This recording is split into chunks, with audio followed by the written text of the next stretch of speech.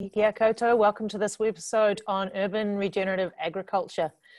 My name is Alina Siegfried. I'm the author of the Our Regenerative Future content series, produced in partnership with Pure Advantage and the Edmund Hillary Fellowship.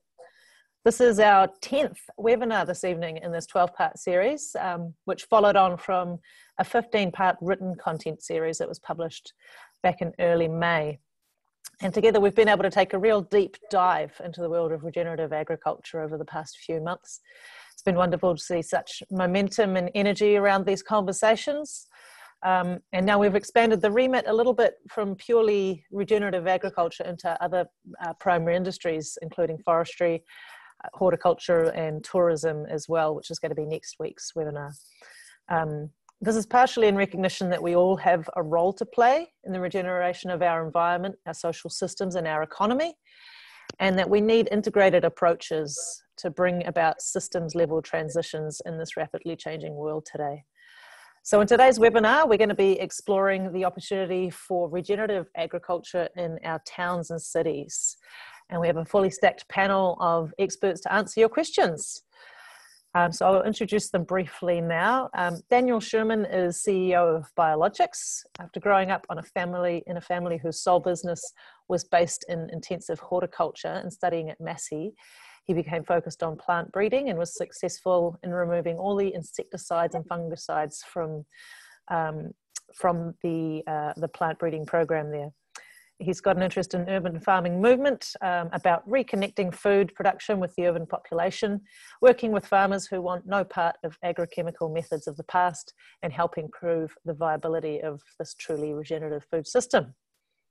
Sarah Smuts Kennedy is an artist, regenerative farmer, and originator of For the Love of Bees, the Urban Farmers Alliance, and new educational platform Regenerate Now, which all of our panelists are involved in. Um, she has helped to establish uh, Rongoa Garden in Griffiths Garden, OMG, a profitable 500 square metre teaching farm in Simon Street, compost hubs around Auckland, and pollinator plantings in public parks and schools. Uh, Sheldon Levet is the farm and compost manager at Kaicycle Urban Farm in Newtown, Wellington. And Kaicycle is an urban farm community compost project established in 2015, uh, which collects all its compost by bicycles, which is pretty fantastic. Mm-hmm. Sustainable transport for the win. Um, and Sheldon is interested in the way that urban farms and uh, community compost projects integrate and can help reimagine urban ecosystems and community cohesion. And finally, uh, Bailey Perryman is, was the co-founder of Cultivate Christchurch, where he worked with disadvantaged youth to make compost and grow healthy food in inner city Christchurch. Um, he's currently now working on a new composting project, uh, starting a PhD on land remediation and fulfilling a contract with the Christchurch City Council, activating food initiatives within the Otakaro Avon River corridor, which was formerly known as the residential red zone. So wonderful to have uh, these four um, very knowledgeable and talented speakers on our panel this evening. Um, it looks like we have over 80% of you have voted on the, uh, the poll, so thank you for that. Um, looks like we've got about half the people involved in either agriculture or horticulture and, um, and viticulture. Um, that that oh sorry that's the area of regeneration that we're most interested in and then 31% interested in urban which is fantastic because that is of course today's conversation. Um, and over half of us on the call this evening actually are living in a town or city in new zealand. Um, fantastic and welcome to the 13% of you who are from outside new zealand um, and looks like people have read at least some of the um, our regenerative future content series which adds a lot of context to some of the conversations we'll be having this evening. So thank you for um, getting involved in that poll. You'll notice that there is a q&a box um, at the bottom. You can access that from the bottom bar. Please feel free to put your questions in there for our panelists this evening. Um, we'll be um, putting those questions to them along with some that we've um, that we've prepared and also we'll um, live on Facebook this evening too, if you wanted to share with anybody. Um, and we're recording this call as well, just to let you know. Um, all right, I think without further ado, we're going to crack into some questions for our panelists. Um, I think um, let's start with a, a quite a, a broad um, question. Um, I think people living in a lot of New Zealand cities are quite often disconnected from where their food comes from. So um, I'd love to hear from the panelists, and maybe you can introduce yourselves a little bit as part of your answer. Um, what What do you think are, are some of the implications of this disconnection between um, between food and our communities? Um, let's start with you, Sarah. Uh, well, actually, I prefer um, Bailey. If, if you would start with that that question, um, sure. I, I, just think, yeah. Thanks. Uh, yeah, I mean, I think uh, first of all, kia ora everyone. Thanks for joining, and and thanks for chucking me into this one, Sarah. But I think the the the short of it is uh, it's it's massively disempowering. Um, the result of that disconnection means that we're making poor food choices, can't distinguish between foods that are good for us and uh, or otherwise. And uh, I think it, got, it runs a lot deeper than than that, and actually is reflected in uh, I think uh, inequities in in the structure of our economy and um, educational outcomes. And I've mentioned health outcomes already. Uh, it all comes back from disconnection from the land. And so I'm I'm uh, third generation now, effectively um, removed from from um, being owning and operating an agricultural operation. And it's been an interesting journey back, starting in an urban context um, and trying to trying to find uh, just a simple connection to to having hands in the soil. Um, but that was really the start of my journey about 10 years ago was actually just realizing I wanted to learn to grow food.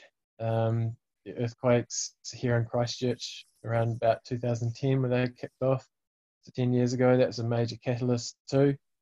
Woke, woke me up big time as to where is my food coming from and what if the supply chains are cut off, what am I going to do?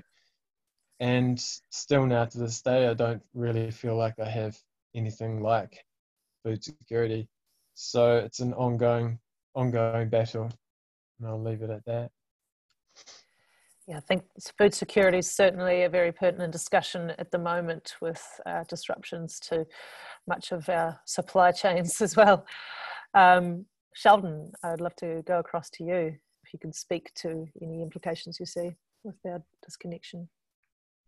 Um, everyone, um, I'm Sheldon. Uh, I think I would agree heavily with a lot of Bailey's thoughts, and um, I think the thing I would add is is um, that that shock to the system that Christchurch um, had during the earthquakes. Wellington is very susceptible to similar shocks um, with with a single supply chain in, um, and I think COVID in Wellington has germinated a lot of people into wanting to grow, but um, people just don't know how. They they don't have um, the skills that that our ancestors would have held um, for a very long time, which is leading to this disempowerment um, for everyone, whether whether they have food available or not. Um, and I, I, think health for me um, is is definitely the the long term thing that that we're going to see dropping off. Um, yeah. Thanks, Sheldon. Um, Daniel, what do you think are the implications between that that disconnection between our food and um, yeah. Good evening, everybody. Uh, my name is Daniel Schuurman. Um, I think it, I mean, it's basically the crux of it is what we talk about urban rural divide. Um, and so, uh, where you have not really a great understanding and that of how food is produced, that leads to a mistrust in the urban population of the food and where it comes from and how it's produced.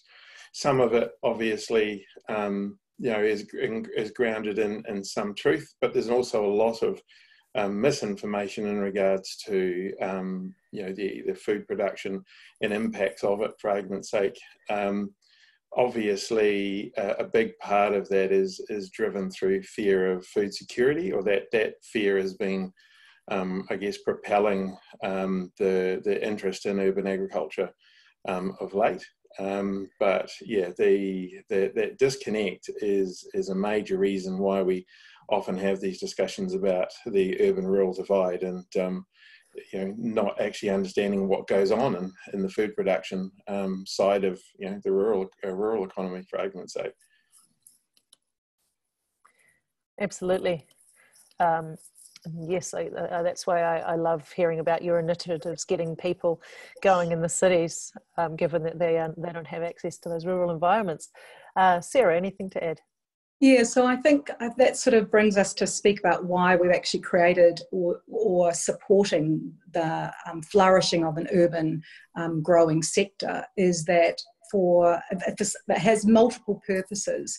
Um, what initially had us um, really uh, see that as, as really important to create an urban farm in Auckland, for example, was really to demonstrate to people that it is actually possible to grow at scale in ways that are beneficial to the environment. And we had the project for the love of bees, so we wanted to show you could grow at scale commercially um, in ways that were safe for bees. So it has um, so being able to demonstrate uh, that these systems actually work that um, you know regenerative agriculture is a really viable way of growing. For a lot of people, and, and most of um, New Zealanders do live in cities, um, they need to be able to see that. They actually need to spend time around them, uh, learn the systems themselves, get comfortable with this. This isn't a, a pipe dream. This is a very real proposition, and it is being done. Um, so that's one reason. So that is potentially also, you know, with all of the popu- a big chunk of the population in cities, we do need to grow new farmers. So, you know, we see that our urban farms as being a space where we can actually grow a new generation of farmers that will actually um, potentially move out into the, the countryside. Um, so uh, capacity building.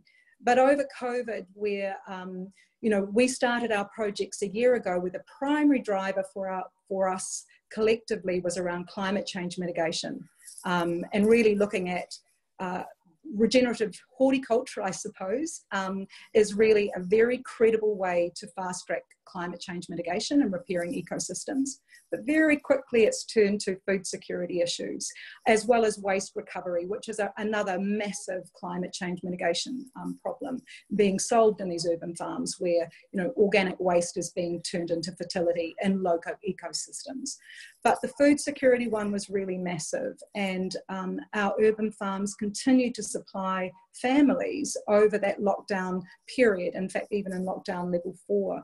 So, um, and obviously, at the moment, our country is looking at um, food security big time coming down the wire um, in October. It's expected to really kind of peak, um, but also local jobs. So we see these urban projects as being teaching models, data collection centres, research centres, but also spaces that are actually very actively and very quickly within months able to attend to local food security while generating local jobs.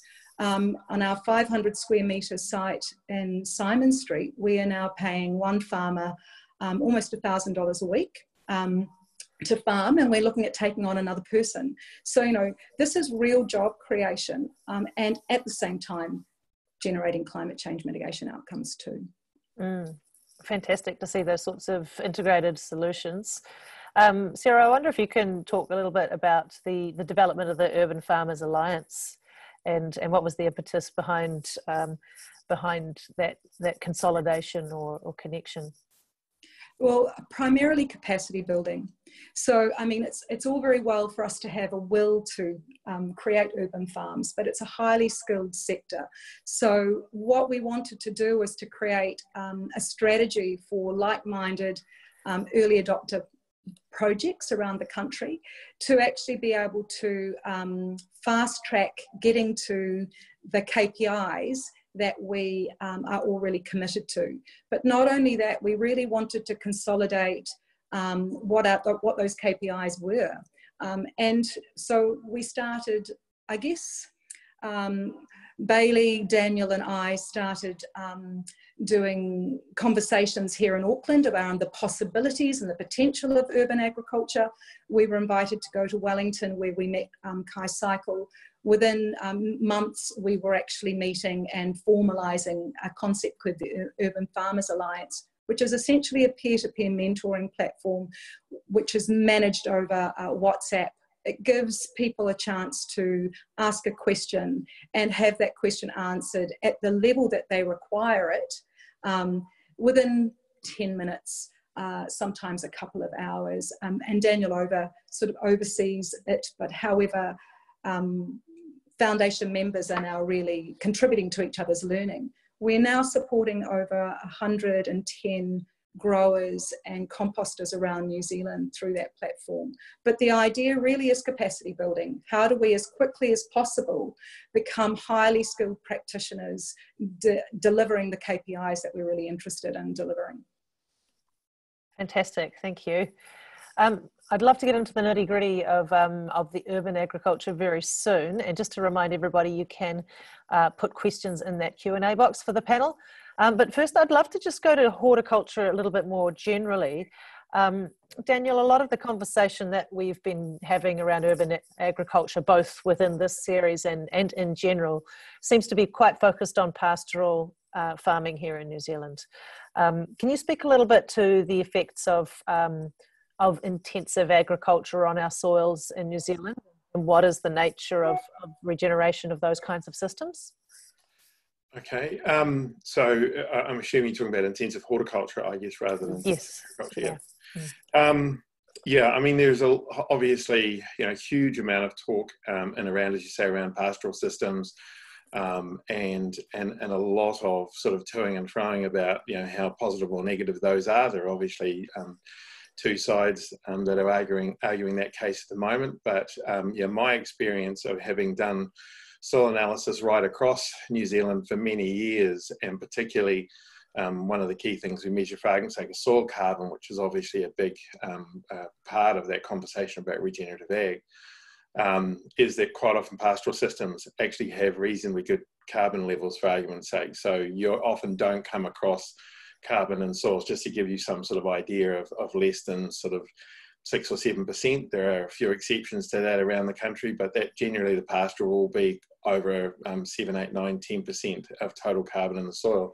When you start measuring intensive horticultural um, producers in, in conventional terms, we very often find um, levels below um, three percent. Um, and 3% for people that don't know is basically zero because carbon, you don't find soil without any carbon in it.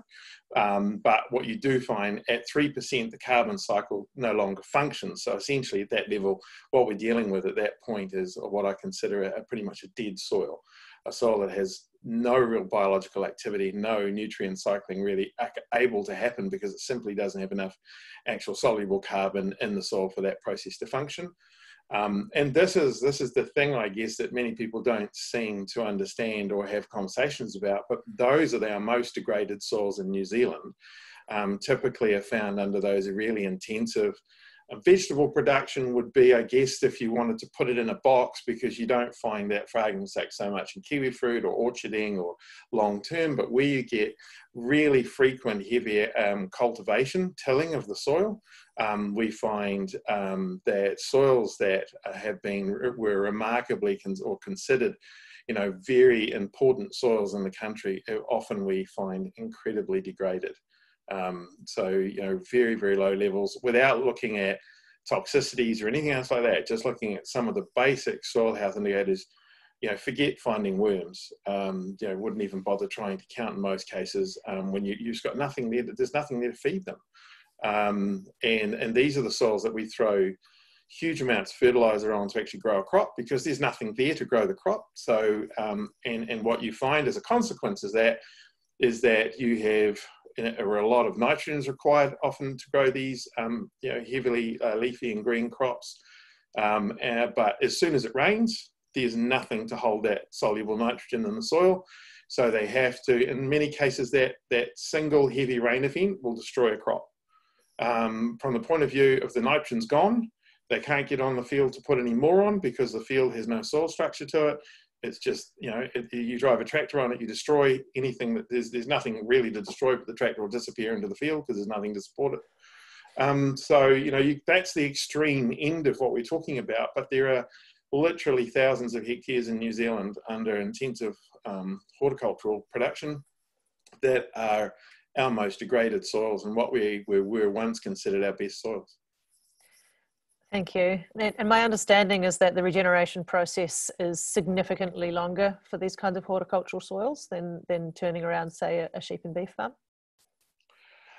Well, in many cases, the sheep and beef farm kind of has to modify their behaviours or improve with the knowledge that we're understanding how we can improve the process, but they're not starting from a really low point. So, yes, in terms of how far you've got to go, um, time is not necessarily such a huge issue. There are ways of, um, I guess, uh, because we're not talking in many cases like sheep and beef, we can be talking. You know, I've got some customers in excess of um, you know 1,200 hectares, 20,000 acres in some of those stations. Obviously, you're very limited as to what you can do on that scale. But we've got a large scale vegetable producer. You know, there might still be 700 hectares, but they've got other tools available to them to address that quickly. But they're certainly starting and I use that carbon analogy as a difference of starting at 3%, which essentially is zero versus someone starting at seven, eight, nine percent. Um, very, very big difference. Got it. Got it. Okay. Thank you.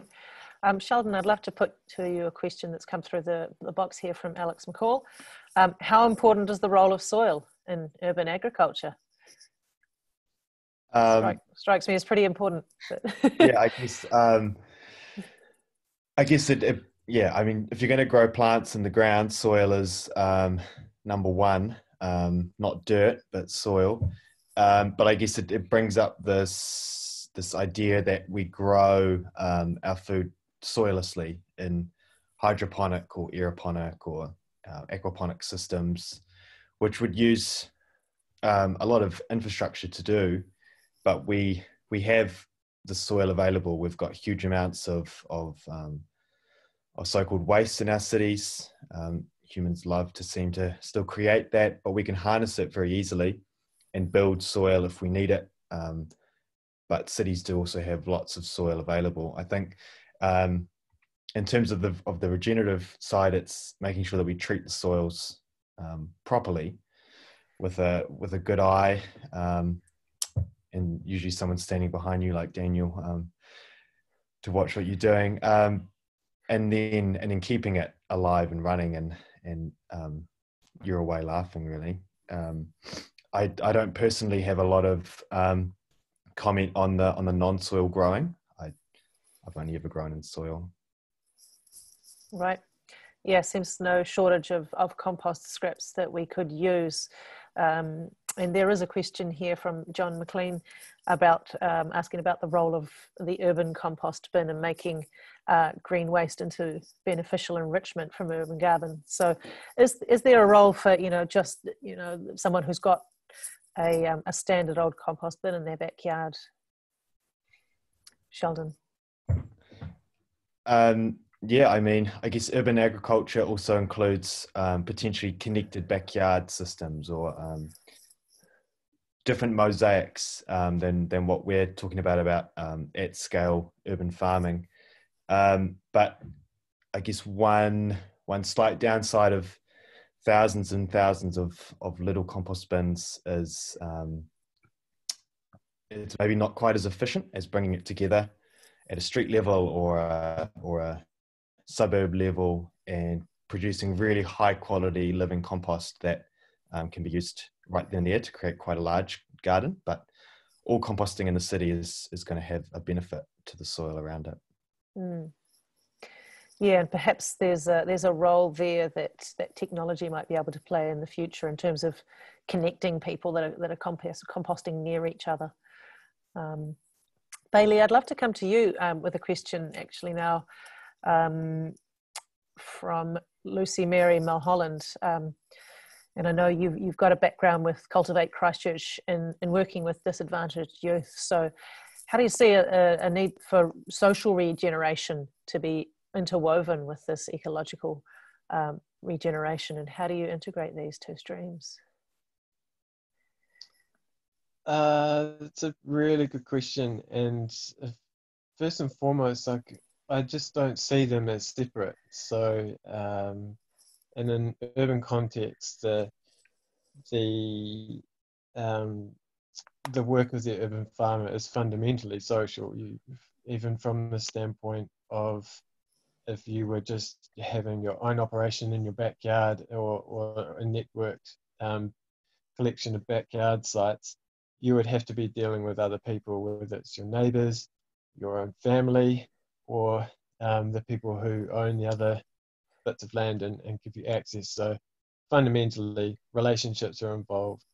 They need to be given time, and um, there's a lot of communication and education that comes through in those ways. But um, the that's sort of the soft end of the of the spectrum at, at the very um, at the much harder edge of I guess um, social issues or the uh, you know where where society is is dysfunctional um, is where uh, you find the more structured work um, and the more purposeful and um, initiatives which are very much designed basically to collide people who have um, are experiencing all kinds of basically symptoms or side effects of, of disconnection from land, disconnection from nature. You're basically just trying to collide them with some kind of um, some kind of experience of the power of those the life forces that um, that are running through through nature. And, and the, the moment yeah it's, it's it's remarkable how fast that can happen though. How um, and the, the, most vivid experiences for me personally at, at Cultivator with um, working with uh, teenagers, some of whom had been in the say the care and protection services since um, since from being a newborn.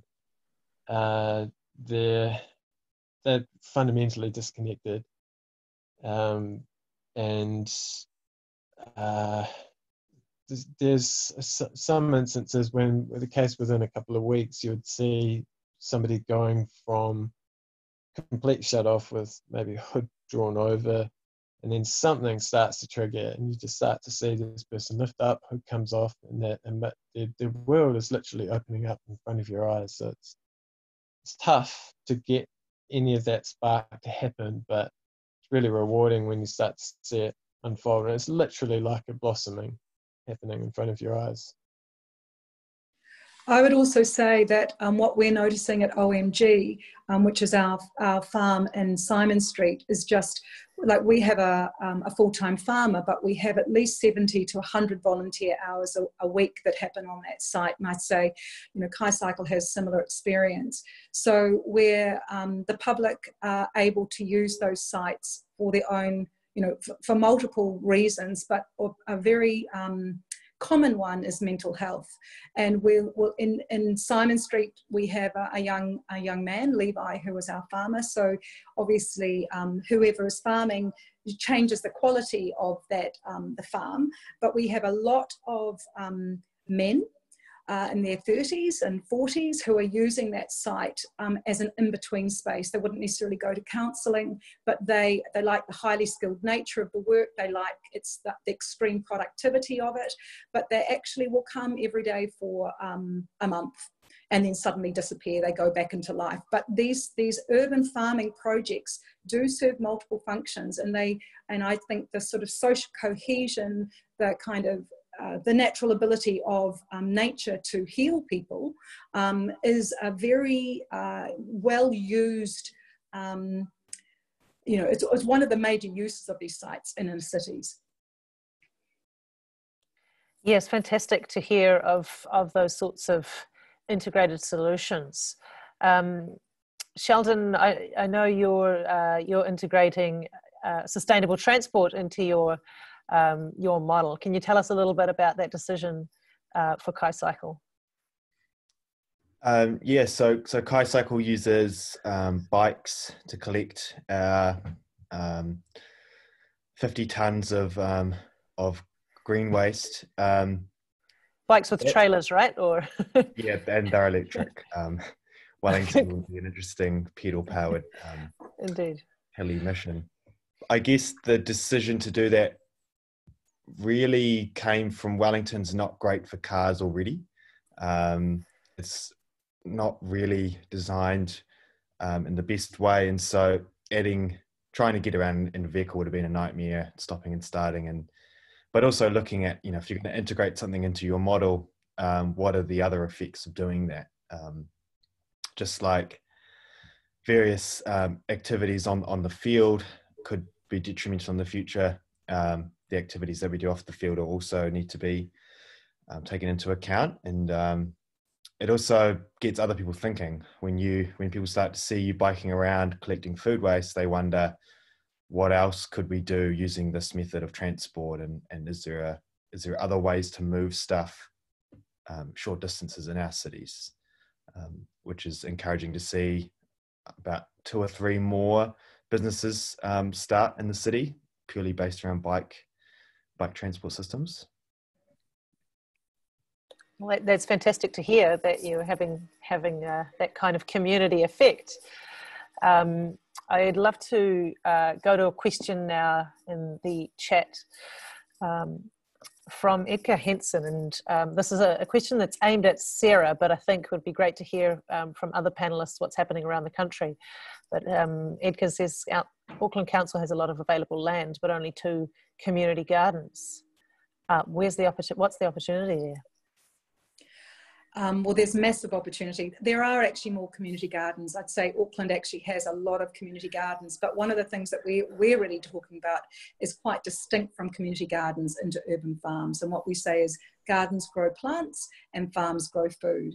So what we're talking about is, um, and all of the farms that we are um, helping emerge uh, around, are using the CSA model, which is a community supported agriculture. So looking at, so for example, um, 500 square meters we know can produce 40 CSA boxes a week that's feeding and each box should feed four people so that you know you can extrapolate out how many um, how many people can be fed from a certain size. We're looking at the moment to try and um, get farms in Auckland and in fact around New Zealand and Wellington as well, between two and a half thousand square metres, 5,000 square metres, where you're suddenly looking at 400 CSA boxes a week. And then you're starting to look at being able to employ um, 10 to 15 people. You are generating um, a really good revenue. So these projects need seed funding. Um, and then actually they become self-sustainable within a year to 18 months. Um, so there's a lot of um, land in, in all of our cities actually, and our vision is to have an urban farm every one kilometre. That's what it's going to take for us to actually get the critical mass, to get the KPIs that we're interested in.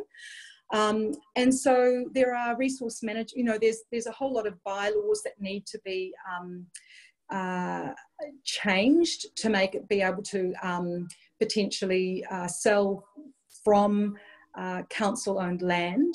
But there are also land, there's churches, there's, there's, there's a lot of land. Land isn't the issue. It's actually having a vision and imagination for the transformation of what that land can do and um, the seed funding to enable those projects to actually start and be successful in the, in the period that they need to be to actually support people. Um, we at the moment have been looking at Albert Park for a 5,000 square metre farm. That looks like it might be too tricky, but at the moment we're looking at Fraser Park, which is in Parnell. But already with the Waitemata local board, um, they have been really thrilled with um, OMG uh, and its uh, capacity to become um, a self-sustainable business that's meeting all of those KPIs. And there's a real will to, um, and I know Wellington Council similarly are really excited about the capacity of um, these urban farms to, you know, attend to food security, climate change mitigation, waste recovery. But um, there are some, there are some um, changes that have to be made, and these things do need to be seed funded. And we're really hoping that uh, government um, see the Urban Farmers Alliance strategy. Uh, we have the recovery farm package that we we put out um, at the you know lockdown level four, which um, really I think is a very credible way for um, you know fast tracking um, ecosystem restoration, uh, food security that isn't um, food banks, but actually long term food security, but actually also generating quite substantial jobs. Yeah, you've got everything in there by the sounds of it. You've got waste recovery, employment, mm. climate change mitigation, uh, mental health. Um, mm. and, and on mental health, um, we had a really great um, community and mental health conversation much earlier in the series with um, John O'Frew and Sam Lang. I think there was yes. yeah, episode four if anybody wants to check out the recording a really rich conversation around around how getting involved in the land can be very beneficial to mental health i'd love to come back to that question of um, of uh, finances and barriers in a moment, but I just want to give um, Sheldon and Bailey um, the opportunity to speak to whether um, what sort of opportunities they see in, in Wellington and Christchurch. Yeah, I'll jump in. Um, so my my current role uh, on part-time contract with Christchurch City Council. Some may or may not be aware that um, uh, as a result of the earthquakes, there was 400 hectares of housing cleared alongside the Avon River, which stretches from the centre of Christchurch City out to the eastern suburbs and um, for reaching the ocean and that land is deemed uninhabitable for, for housing, but is essentially a river corridor that is speaking very clearly that it needs to be recovered. So my role is to look at the areas within that total land area which are more suited to productive land uses, everything from community gardens through to uh, there have been independent um, independent reports looking at different agribusiness options for that land as well. And um, horticulture is definitely coming out on top there. So there, there's the potential there for a continuous productive urban landscape. Um, and of course, even before that, before he made a mess of it as an urban settlement, it was um, used as a, a, food basket and harvested from by Mana Whenua, um, mm. in particular.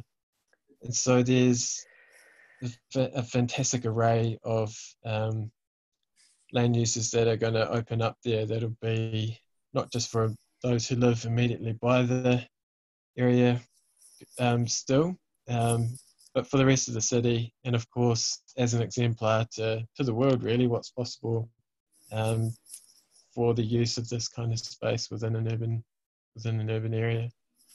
Mm, okay, thank you. Um, Sheldon, what opportunities do you see in Wellington?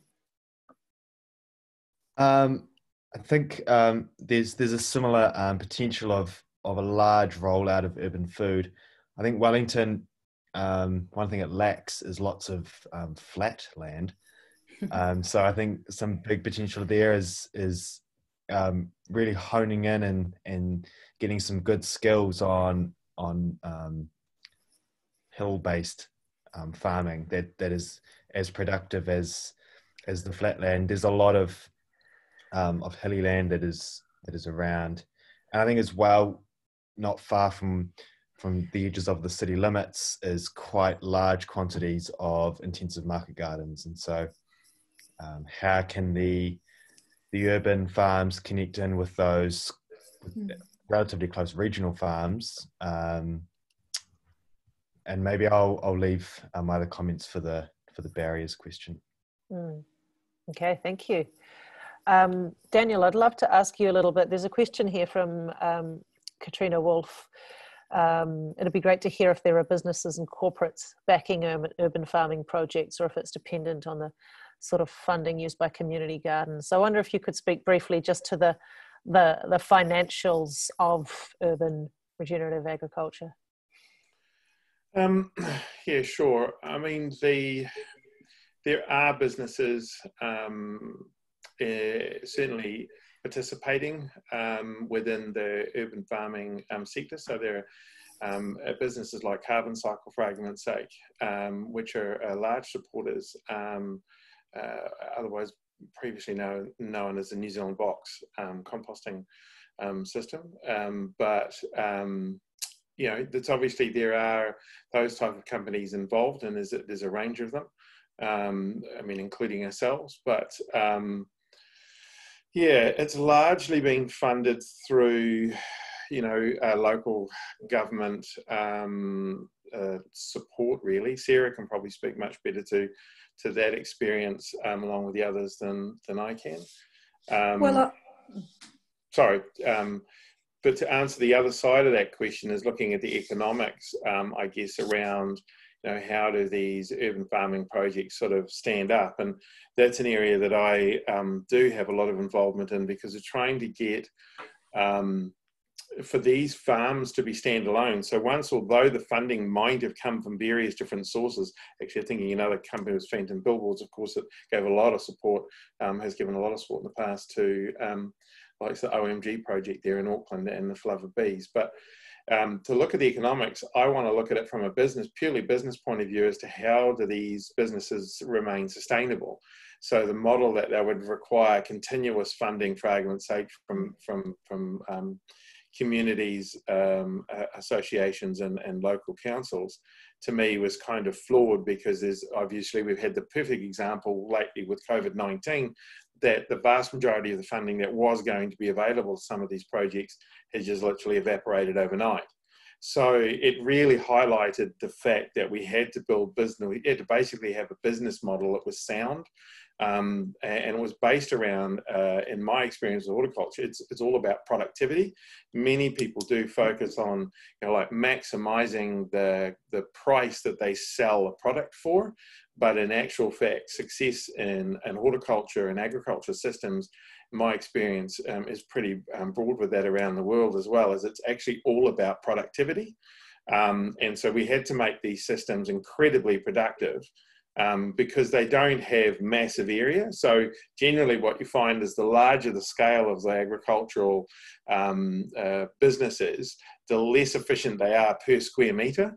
So as you bring these things down to 500 square meters, obviously you haven't got any room to waste. You haven't got time to waste. You have to have that thing producing at incredible levels. And to put it in real dollar terms is what we try and to get people to help to understand is that um, you know, if you're looking at, um, and I won't talk about pastoral systems because they're on a, on a very different scale, but on other horticultural systems, the best you can probably hope to that I see in turnover is maybe $300,000 a year at best for say gold kiwi fruit. And there'll be some growers out there that find that hard to believe that they actually, someone's achieving that because the average is, is, well, it's probably less than 200.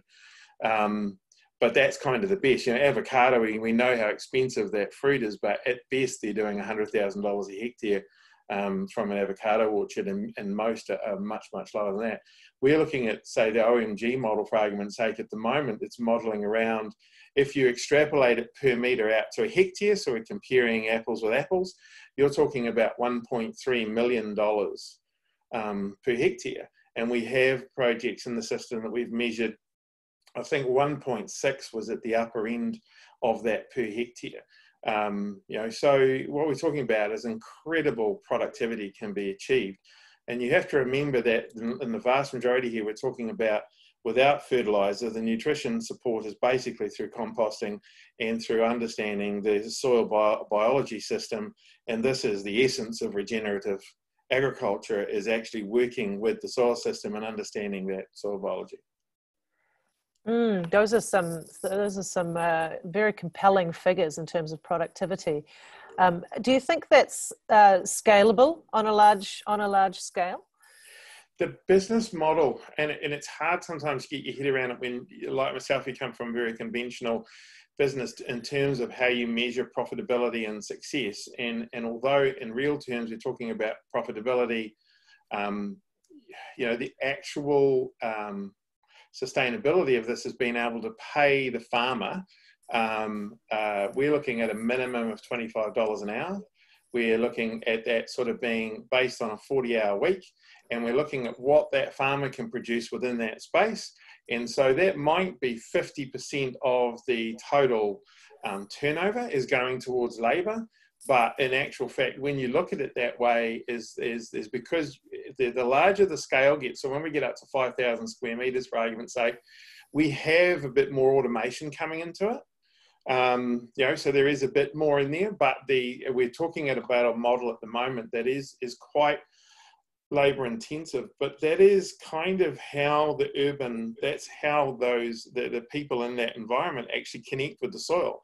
You know, they have no love of, of they're not going to get in it. You're not talking about the scale we're getting in a GPS guided tractor and the person actually never sets foot in the field. Um, you know, and covers hundreds of hectares. That's a, in, in per square, again, as we're talking about per square meter, we're talking about very low returns. Um, and to give people an idea, because people think of, you know, I think one of the questions before talked about, you know, how much, I guess, thinking how much land is actually available. Well, you've got 4,000 parks in Auckland alone. In the 25 regional parks, Auckland has 42,000 hectares. Um, know, this is all within the community land. So we're not all talking about turning all of that into food production by any major stretch of the imagination. But like Sarah says, land is not the issue here it's how we're utilizing, um, how we're farming, and how we're utilizing and how we're managing that soil. It's it's all at a much more basic um, level, but the the opportunity is about. Um, so the the keys to supporting these projects is that CSA, that community supported agriculture model, where somebody wants food. Um, you know, from a local source, because like OMG, our target is basically everybody that would hopefully buy get their food from OMG from these CSA boxes could arguably walk there and pick it up. You know, we're not we don't want to put it on a courier and ship it, you know, across the city or anything like that. That's that's not the model that we're talking about. This is very much localized food production. But as you know, we keep pointing out here is that this this it, it makes an awful lot of people much more passionate about their food and interested about how their food grows. And you can see as we go through this process um, that we can scale we can scale that up but the fact is uh, the more people involved in it the more that are likely to actually get and we do have people in that um, model now that are talking to us you know that are more larger scale market gardens so 10 12 hectares or you know or larger um, sort of following along these no-till regenerative practices. Got it. Thank you. Um, let's come to that question of, of barriers. Um, Sheldon, what do you what do you see as some of the, the big barriers to um, scalability or, or to your work in general? And, and what are the roles that perhaps local authorities, um, councils, or, or others can can play to help remove those barriers? Um, one one barrier is possibly this this issue of imagination when we look at mm-hmm. at these green squares dotted over our cities. Um, and then archaic hangovers of of legislation. Um, those people are long gone, but um, there's there's lots of bylaws, um, both at the at the council level and at the state level that that never thought in in a wildest dream we might want to grow food in the city, and so we now have to go back and um, look at, at some of this legislation and um, allow it to to have um, some of these things done on it. Um, particularly the Reserves Act um, is one that, yeah, in one interpretation you could easily farm as long as you don't have any goats, um, but in, in other interpretations um, it's quite narrow, um, purely because urban farming wasn't around in the seventies. but I, I, guess in Wellington in particular, I was in a meeting today and and um, there's a draft um, report due to be submitted to the council soon that that recommends a lot of these things. That recommends that a work stream is developed in Wellington to to basically understand what land is available, who owns it, what what state is it, and um, and create a mandate to a community um, food council to begin um, allowing some of that policy work to be undertaken. So I think Wellington is potentially really beginning to push ahead and and see the potential here. But the biggest barriers at the moment for us is policy and and bylaw. Got it. Um, I'd love to come back to goats in a minute, but um, Sarah, I'm curious to hear if you've noticed any any difference um, with a slightly different council structure than we see in most of the country, with a consolidated uh, super council as such. Has that um, has that mean, meant any changes in terms of um, the, the way that you have to work with um, local authorities? Oh, you're on mute. Um, yeah. I just say it's just super complicated, um, being a super city. Um, what what we're finding post COVID is that there's a really massive conversation happening in all areas of Auckland City around um, the opportunity for urban farming to to um, you know attend to food security as a primary thing.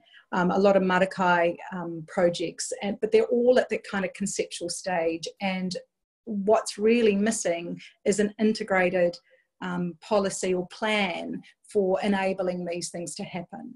Um, last year, you know, we were all involved in um, a climate change action plan, discussions about, you know, what could happen in our city to make us climate change ready. Uh, there's just been so much talking done and so little action. Really, the action that's been taken uh, by our communities um, and they're massively under resourced. So while people are talking about these things, um, communities like ours are just, um, you know, there's burnout. There is a, a, frustration that you know we can't get funding from MPI. We can't get you know the Ministry of um, of Environment has actually been really supportive, but I would say, you know, Auckland Council is in a really bad place financially right now. Uh, and there's never been more need for these projects to be, you know, actioned. We have in South Auckland, there really is a food desert out there, and, and there's and there's a serious, serious issue around access to nutrient dense food. Um, but also we have a massive issue around um, waste recovery and in auckland we have been um, looking and investing in a biodigester to take our organic waste um, and ship it down country and turn it into um, into heat essentially. And we just see that that is uh, a massive waste of resources. That actually the very same um, organic waste could easily this you know a, a better investment is to keep it in the environment where it has been created and to turn it into opportunity and climate change mitigation opportunity but also um, you know uh, jobs. I mean, jobs are the next big thing we need to be thinking about. One of the things I think it would be a super shame not to mention um, at, by the time we had ended this is just how um, how amazing these farms are at in terms of um, carbon capture drawdown. And while there is a lot of conversation at the moment around, you know, sequestering carbon in soils, what um, is really possible to measure is the above ground biomass that is actually, you know, is captured carbon. And um, you know, the, and that's measured by productivity. And these, the systems that we are encouraging people to take up in the urban farming have massive productivity and massive above ground biomass, which really um, uh, Daniel, I wonder if you might um, just share some of the data around that because I think, in terms of getting your imaginations triggered and feeling really inspired about the opportunity for regenerative urban agriculture to make a big difference in regards to our drawdown requirements, um, I, that's what has me be in this project, are those opportunities. Daniel, could you speak to that? Um, yeah, sure. I mean, the you know, there's a huge amount of, I guess, conversation around this whole um, carbon sequestration, um, and and that's you know particularly where we hear that coming through from the pastoral side of things, and and and how effective um, these um, regenerative systems can be in actually increasing the amount of carbon. But often, yes, we are only talking about more often than not measuring the carbon in the soil. Um, but one of the systems, uh, and the name just escapes me the top of my head at the moment, but essentially when you start embracing this sort of um, this whole process and you create these um, healthy soils that have this um, you know, healthy carbon cycle, nutrient cycle process happening in the soil is you create that massive abundance above the soil. And the vast majority of the carbon in, in the world is actually held in plant material, actually above the soil. Um, that's where our biggest carbon um, store is. The, the, the, soil follows that. But um, you know the, the, sort of examples that are talked about, and I'm just trying to think of the research that came out of New Mexico University, there regenerative agriculture agricultural um, uh, sort of research facility there, I mean, they're talking about as much as 19 tons of carbon per hectare per year in a, fully activated um, biological um, system. So, you know, when you've really got this regenerative process happening, versus what's happening in our conventional systems, um, often you're talking that is five or six times um, the, these regenerative systems can be five or six times higher than what we're currently achieving in our conventional agricultural um, approach um, to it. So there's a lot, of, you know, there's a lot of science being, uh, a lot of study being around there, and there's some people really leading the cutting edge of that. But it shows the true potential of creating a food system which is incredibly carbon positive rather than having these conversations about how negative our food system is to the carbon. And um, we can argue one way or the other uh, in many times, but in these sorts of systems, it's so overwhelmingly carbon positive from, from the amount of carbon being captured, not only in the ground but above ground, that there is little argument to be to be had. Yeah, sounds like there's quite the opportunity for a reframe there, and and and if we change our processes a little. Um, I uh, was going to ask about the involvement of animals. I know we've only got a couple of minutes left though, so um, if anyone wants to weave that into their last 30 second thoughts, that would be great. But I would love to give you all the opportunity to just, um, yeah, say anything that, that's still on your mind. Uh, Bailey, you, you had your hand raised there. Yeah, I mean, there's uh, interesting. We've we've touched on some of the bylaws and policy and plan and, and constraints, but it's the the river corridor I've mentioned a couple of times. There's a whole regeneration plan, and that has then um, created overlays in our planning framework. And there's a rule within that that animals grazing is allowed in that area up until the 1st of July 2024. And I can't get a clear answer from any of the planners yet about why that date. I'm imagining that it's something to do with the overall vision for the space is ecological restoration, and they see animals in there as being counterproductive to that. So they've time limited where the animals can be used in that space. The, the, the area is large enough for us to dream of and implement uh, some kind of rotational system where we have stock um, closely cared for and probably brought back into shelter in the evenings by a caretaker in residence who's looking at a continuous area of around 40, sometimes maybe even 50 or 60 hectares, the most efficient way to manage that landscape would be to involve animals, and the most efficient way to achieve regeneration of the land and soils to that area would be to involve animals as well. So I, I would love to see, um, I would love to see integration of, of animals, and I'm starting to do some work with uh, staff at Lincoln University about that. So yeah, it's got a huge role to play.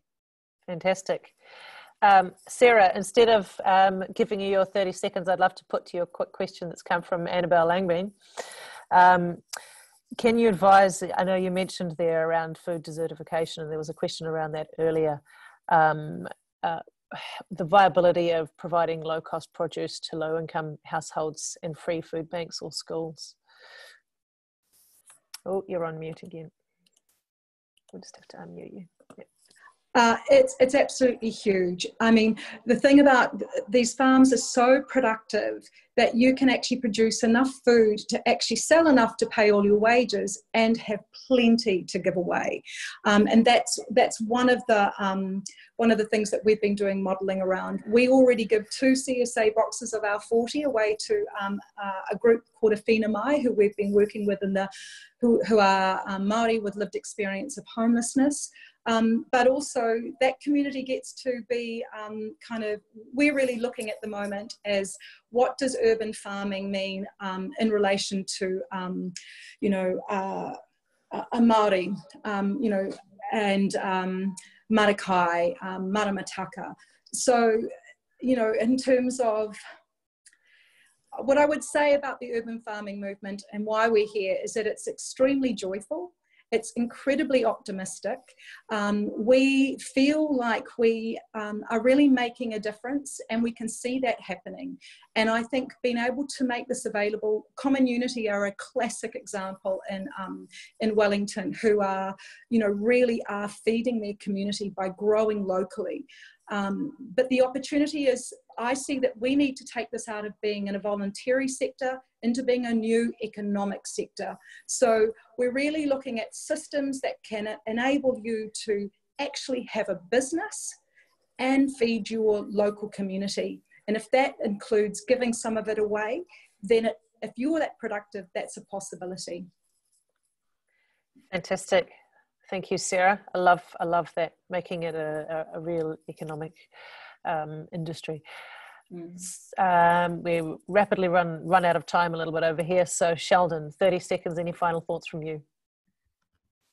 Um, maybe just uh, just adding on um, briefly to um, to Annabelle's thoughts. Um, I yeah, I fully agree with Sarah that um, a lot of these farms are already social enterprises Kaicycle's been um, providing huge amounts of food for the last five years um, to an organization called Kaibosh. Um, but I think as well, looking at um, at things like living food banks, um, there's many cities around the world that they the food bank doesn't buy food; it employs a farmer. Um, one one example of that would be the Ottawa Food Bank, and then schools. you know, rather than shipping in food, we could just have a garden on the school field um, and easily integrate children into into that um, from from a really early age. Um, so I think this is all possible, um, and this is definitely an underlying thread in a lot, of the conversations um, in this movement. Thanks, Sheldon. Daniel, any final thoughts? Um, yeah, a lot, but I should summarize it into 30 seconds. The um, yeah, I mean the key when you're starting to talk about uh, when I started the conversation about productivity uh, being the underlying sort of driver to being the sustainable what, what, drives the sustainability and success of these projects. You know, there are projects out there where already the goal is they're giving away more than 50% of the food, so they're only actually basically having to recover their costs. Once they recover the costs um, by selling whatever percentage of food they need to do that whatever else they produce is simply given away or sold at a very low cost into needy communities. That's a very strong part of um, you know of some of the projects that we're looking at here. And in my uh, when I'm working with um, projects and trying to help to develop their business models, we try and produce a, uh, a model where they're able to give away 25%, or in some cases, we're talking about a model where we've got give your CSA. So somebody might buy two boxes and, and one gets donated. So the farmer isn't necessarily you know, is compensated for his cost of producing the food, but the food's still being given away to somebody or families that need it. So it's it's you know this this is all about a, a change to our food system, and it is very much driven by the social um, need and the whole idea that we can grow you know, I get a real problem with, say, organic and regenerative production that it just wants to be focused about how they can get more money for their food. When I already look at, well, food for many people is already too damn expensive. If you want to make more money and be more successful as a farmer, learn how to actually be more productive um, and not focus on some sort of, um, you know, marketing influence that can mean you can charge, you know, two or three times more for your food because it's regeneratively grown regenerative mm. is, is the key. Being regenerative is the key to actually achieving that productivity. Mm, very good point. Um, all about healthy food, healthy people, thriving communities, healthy environment. But love also, it. can I say one last thing? Is mm. that actually a lot of those communities in need actually would love to be able to learn to grow, and so this is why we've created the Regenerate Now uh, platform. Is that you know anyone who wants to participate in this urban farming sector, I believe, should have access to the knowledge that they need. And so we've been trying to, um, that's part of the Urban Farmers Alliance, but it's also part of the Regenerate Now, is that actually this is highly skilled, um, highly skilled work, but it's work that can be learnt in, in months. Mm. Wonderful. Hey, thank you so much to all our panelists this evening, and thank you for sticking with us. I know we've gone a few minutes over this evening. Um, it's been fantastic to have everybody along with us this evening. Um, so please do join us next week. We've got um, a conversation around regenerative tourism with Trent Yeo from um, from down in, Christ, in Queenstown, rather. Um, Eco Trek Zip Tours. Um, Dr. Susanne Becken from over in Australia, um, Sustainable Tourism Professor, and uh, Larissa Cooney from Bay of Plenty um, Tourism. That'll be a really interesting conversation given the, uh, the situation our tourism industry finds itself in. And then finally, we've got our, um, our series finale for the Our Regenerative Future um, series, and it's um, a an episode where we'll be drawing everything together around forestry, tourism, agriculture, horticulture, and exploring the topic of how we can move toward a regenerative economy for New Zealand, and particularly for New Zealand's primary sector. Um, we'll have um, Rod Oram, Dame Anne Salmond, Mike Taitoko, and Hamish Bielski on that call, which are all panelists we've already had in this series. So it'll be really um, drawing together um, a lot of big picture thinkers. That will be a 90 minute special episode. Um, so we'll be able to dive a little bit deeper into, into that one. Please do join us for the next couple. Keep an eye on the Pure Advantage and Edmund Hillary Fellowship um, Facebook, Instagram pages for all the details, or you can go to pureadvantage.org or ehf.org for details. Thank you so much again for joining us. It's been wonderful to have you. And thank you to all our panelists once more. Ka.